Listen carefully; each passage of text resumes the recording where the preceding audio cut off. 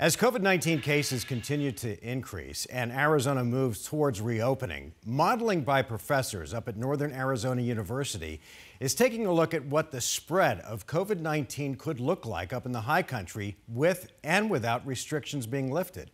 Team 12's Colleen Sikora spoke with the professor who's spearheading the program. And Colleen, there's a lot of variables in play here. While we've heard we've reached the peak of COVID 19 in Arizona, the professor says his models show easing restrictions too soon could mean an even worse second peak for northern parts of our state. Nearly a quarter of Arizona's coronavirus cases are spread across northern Arizona. It slowed down. That doesn't mean it stops spreading, and it doesn't mean that it's declining in our communities yet. NAU Assistant Professor Joe Mihaljevic is studying the spread of the virus across Mojave, Coconino, Navajo, and Apache counties. We try our best to create these models as fast as we can with the information that we have about a pathogen that no one has dealt with before.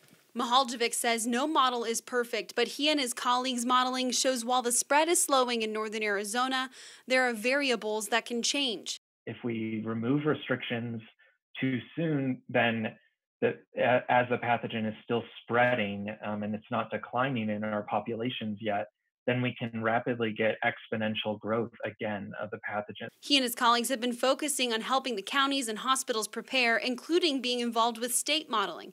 Mihaljevic says, though, his team has been cut off from the data by the Arizona Department of Health Services as AZDHS has paused their modeling.